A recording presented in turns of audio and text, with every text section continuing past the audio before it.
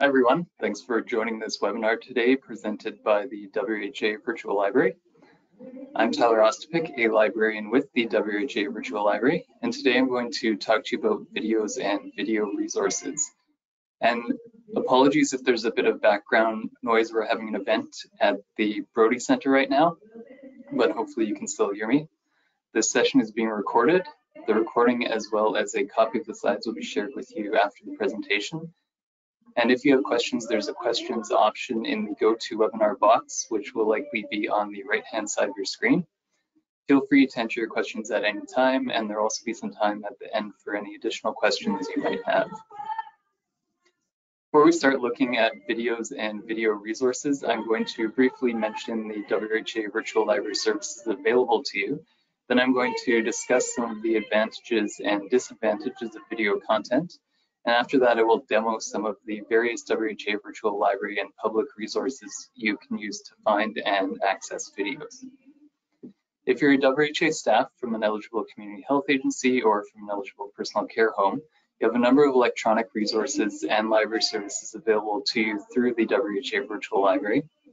This includes access to a number of different information tools and resources, as well as literature searches, document delivery, and education and training sessions like this one today.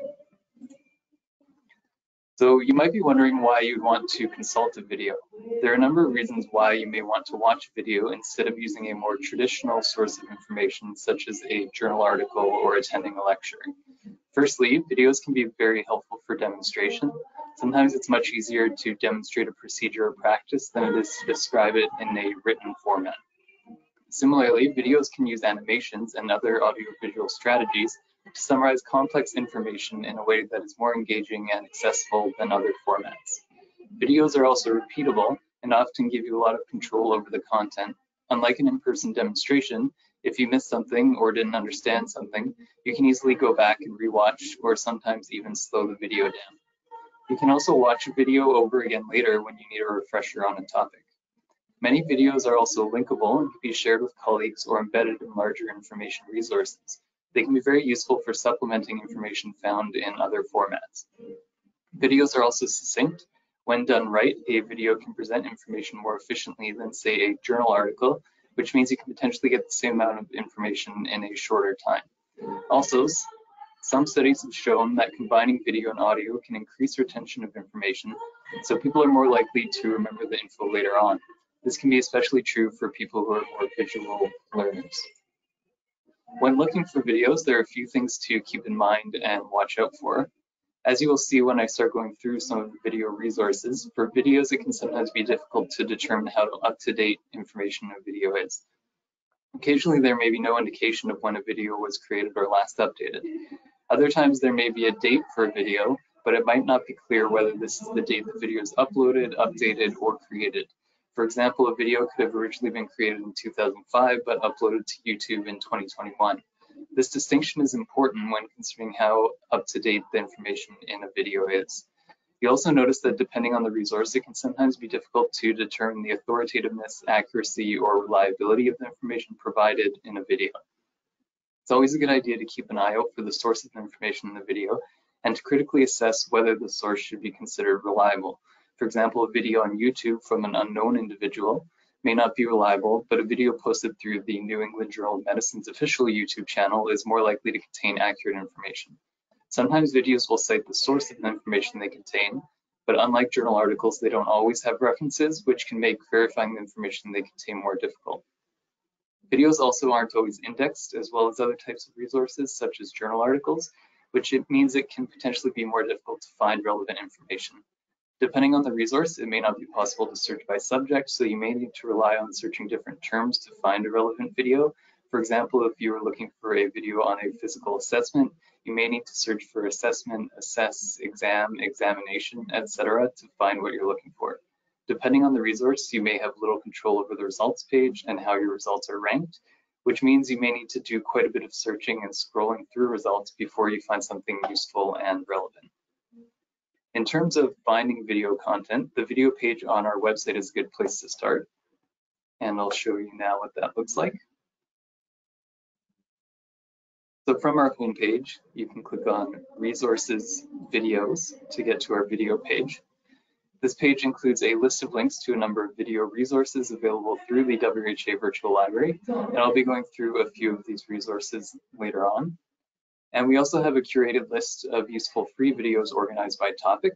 You can type in a keyword to filter the list because as you can see, the list is quite long. So for example, I could type in dementia here. And these are videos we've found related to dementia. We maintain this list regularly and try to ensure clinical videos are not more than five years old and other videos aren't older than 10 years. The first resource in our resources list is Access Medicine, and this is the first resource we'll be looking at today. Access Medicine provides instant answers to clinical questions from trusted sources. It has over 300 examination and procedural videos searchable by category or system. And when you open Access Medicine, you may need to log in when you go to access it. You can find videos under the Multimedia tab. There are different types of video content, including diagnostic imaging studies, pathophysiology and anatomy animations, lectures, physical examination videos, patient interviews, and procedural videos. If you're looking for videos on a specific subject, you can use the bar at the top here. So for example, if we're going to look for something about eye examinations, we could search for eye. And then on the left-hand side here, you can see there's an option to filter by multimedia, and we can click on that and click videos. And if we scroll down, we can see here, this looks like a video for an eye examination. Below the page, you'll have the video along with the transcript. You'll notice there's no date for the video. You can click on this info button. But even here, you just get a list of the source of the video, but not the date the video was created. However, if you go back to your results page, you can click on this view in context button, which will bring you to the source of the video, which in this case is this textbook. And from there, we can click on Get Citation, and that will give us an idea of how old the video is. So we can see it's from this publication from 2020.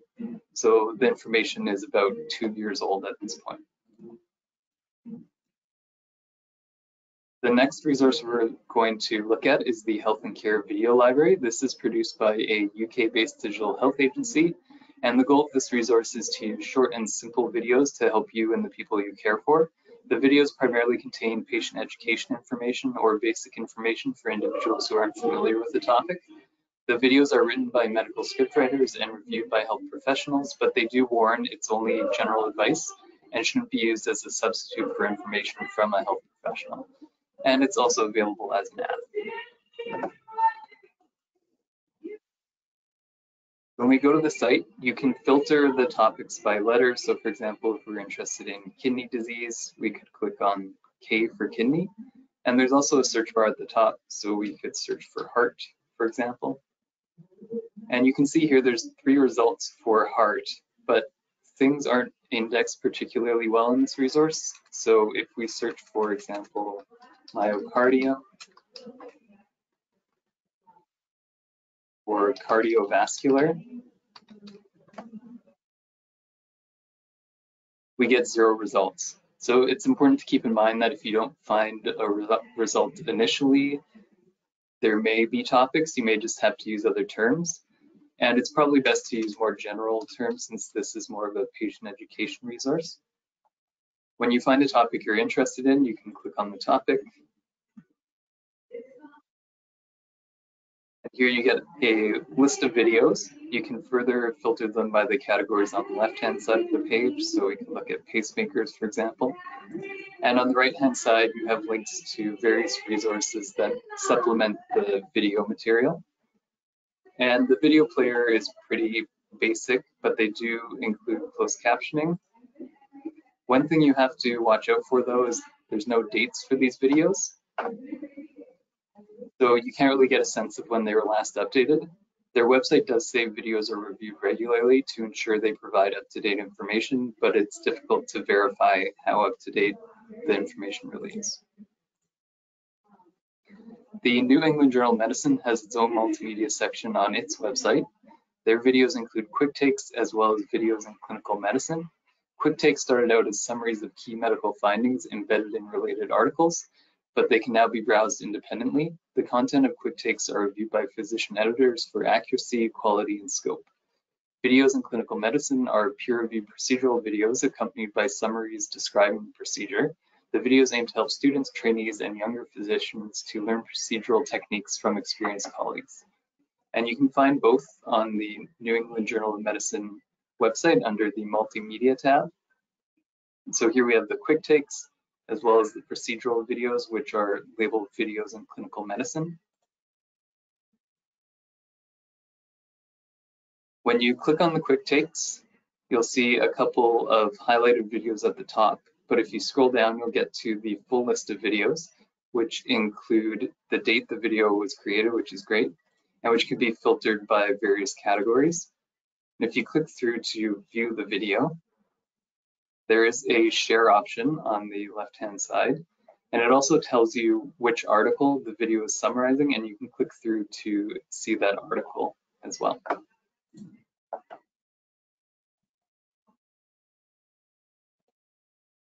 As I mentioned, the videos in clinical medicine are procedural videos. Similar to the quick takes, you can filter by specialty by clicking on the filter button and clicking on a specialty. And when you go through to view the video, you have the option to download the video in MP4. And you also have the option to skip to certain sections of the video, which can be very helpful. And underneath the video itself, you have a detailed text-based description of the procedure, which includes images as well.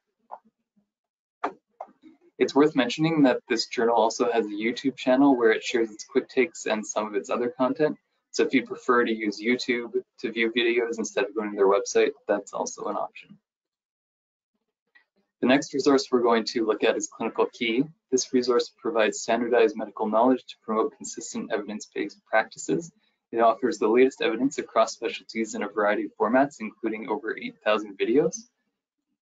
Clinical Key's procedure videos offer high quality text illustrations and multimedia for each procedure. And you can find the procedure videos on the homepage for Clinical Key under procedure videos. And you can filter the video or the procedure by letter or by specialty, or you can type in a specific procedure if you're interested in it.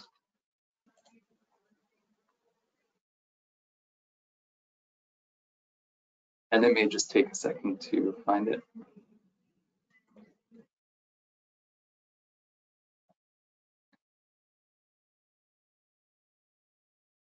And since it's not loading, I'll demo how to use the search bar at the top to find a video. So for example, if you didn't want to scroll through the letters or it wasn't working, you can type something up here. So we could type CAS, for example. Then on the left-hand side at the top, under source type, you can click show more, and you can limit to procedure videos or to all videos.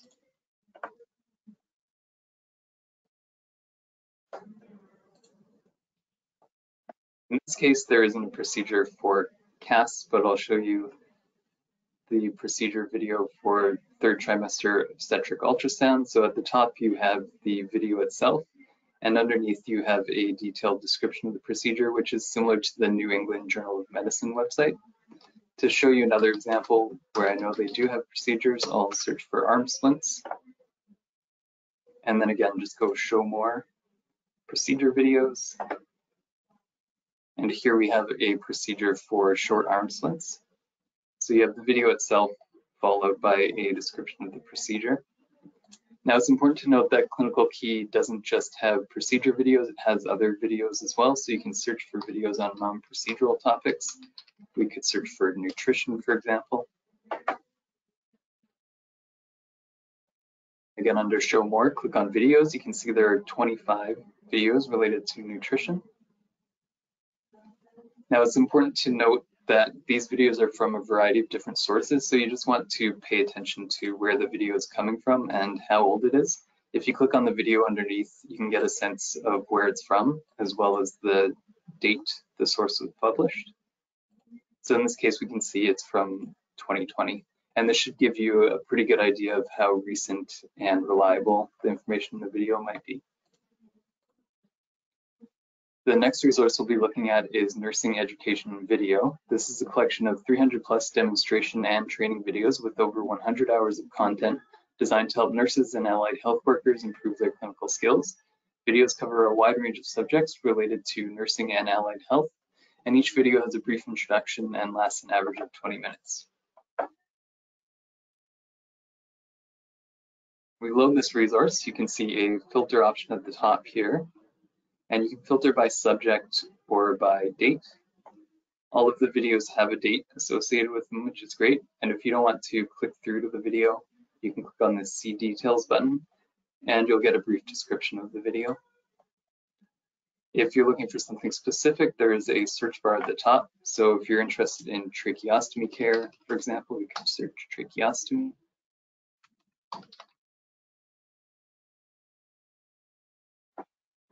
And try to spell it right this time. Here we have a video on tracheostomy care. When you click through, again, you have a description of the video. You can cite it and even download it to a citation manager. You can share the video either as a link or you can embed the link on a website or you can share it through social media. And if you want to watch the video, you can just click play. One of the neat things about this resource is you can also create clips. You do need to have an account to create a clip, but it's free to create an account. And to create a clip, you just click on create clip, and then we're going to call this tracheostomy care clip. And then we can provide a brief description of the clip. And then you can select a specific time range that you want for the clip and say you can make it available to only you, to your institution, or to the public. And then once you've created your clip, We'll pick institutional. You can click Save Changes.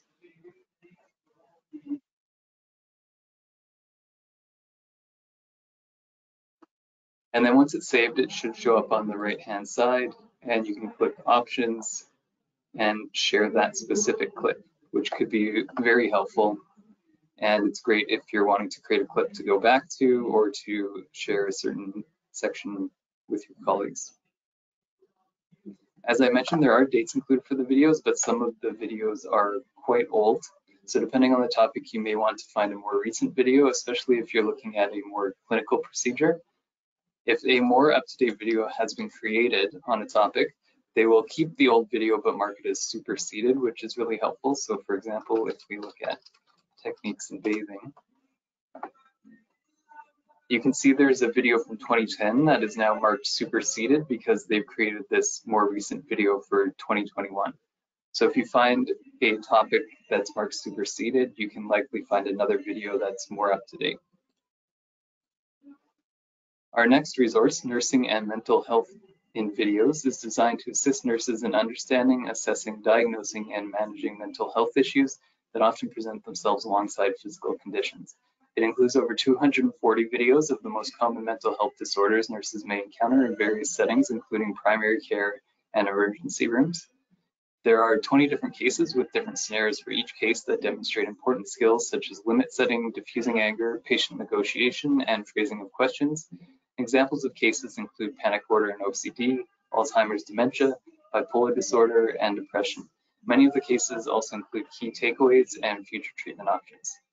This set of videos is also provided through Alexander Street, so the interface works the same as the interface for nursing and education that I just showed you.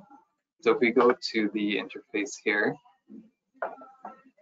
you can see again, there's a filter option at the top, there's a search bar, and you have the dates the videos were last updated or created. And this just gives you a sense of the different cases covered and the different types of scenarios that are addressed in the videos. Another useful resource for videos is the Merck Manual. This is a peer-reviewed reference aid for physicians and pharmacists. Articles in the manual are supplemented by procedure rehabilitation and examination videos. And when you go to their website, at the top of the page, there's a resources tab. And under there, there's an option for videos. Once you get to the videos list, you can refine by type, so by exam, procedure, or rehab, or you can refine by keywords. You could type in a specific keyword and hit apply. And you can also use the search bar at the top. So for example, we could search for casts again. We'll see if it works in this one.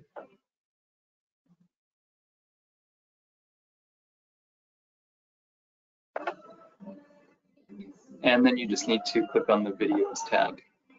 And here we have three procedure videos for casts. And when you click through to the video, you have the video itself, and then there's an indication in the bottom right of the articles the video is from. And if you click on one of these articles, there's a date at the top, which should give you a general sense of when somebody evaluated the article and decided the video was appropriate. It doesn't necessarily when, indicate when the video was last updated because sometimes the videos are external and the date here doesn't necessarily match the date the video was created. But this should give you a general sense of when the content of the video was last assessed for accuracy. There's a professional and consumer version of the manual. So if we look at casts again, you have these three results and you can switch the consumer version up here and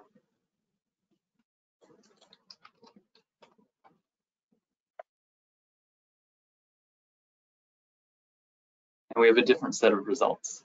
The professional version is more geared toward health professionals, whereas the consumer version is more for patients, families, and the general public. And you can switch between the two at the top, as I mentioned. There's also a mobile app for the Merck Manual, and there are different versions for different target audiences, including consumers, professionals, veterinarians, and obstetricians. The Ovid database includes over 10,000 videos and video clips associated with books and journals available through Ovid. The videos cover demonstrations of clinical procedures, diagnosis and treatment techniques, expert interviews, lectures, and article discussions. From the main page, you can click on multimedia, so I'll just bring up the main page now.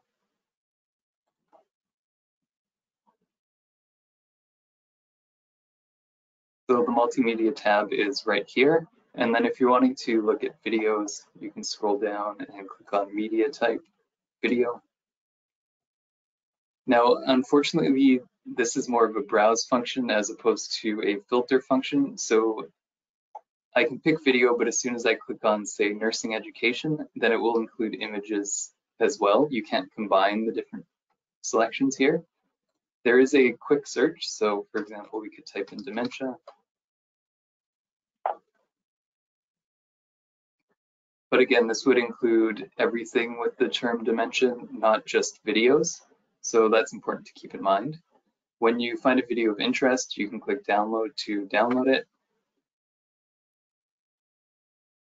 And I'll just show you an example.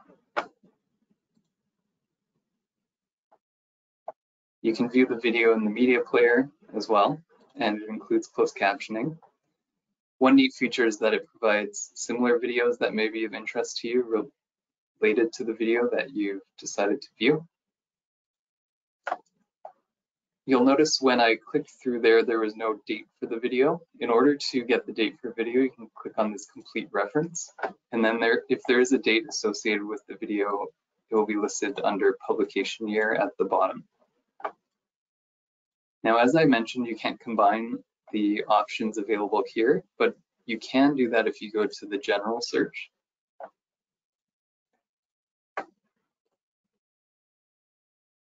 So we could try that same search for dementia, and then we just need to make sure that we check off include multimedia.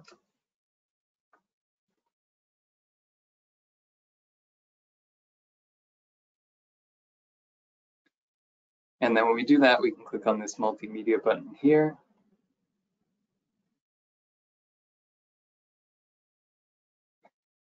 And now we can further filter by, for example, publication type. So if we want just videos, and by duration, say we wanted videos that were 4 to 20 minutes.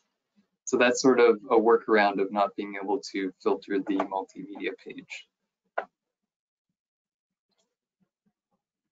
And lastly, YouTube can be a great source for video content, but it can be more difficult to determine the authoritativeness of the information contained in the videos. It's always important to pay attention to who the video is uploaded by. Often, if it's a reputable source, the About tab will include a link to the organization or individual's website, where you can better assess whether the source is reliable. So if we look at this OpenRN project YouTube channel,